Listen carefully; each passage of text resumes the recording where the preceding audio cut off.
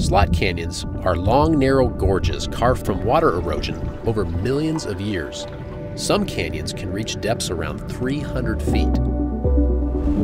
These beautiful and unique geological formations offer explorers a special experience. They also draw millions of visitors each year who may not be aware of how quickly they can get caught in a flash flood.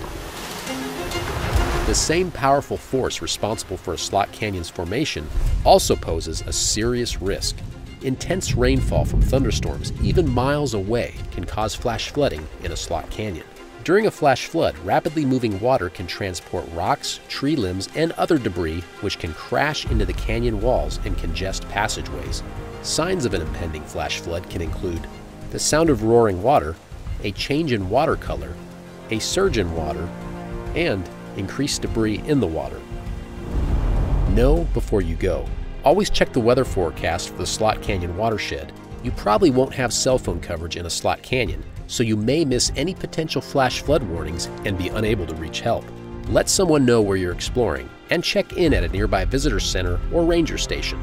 Flash floods happen quickly, so react quickly. Get to higher ground immediately. Stay as high as you can and be patient. Flooding and surges can occur. Remember, it can take hours for floodwaters to recede. Visit our website to prepare for your next adventure in a slot canyon.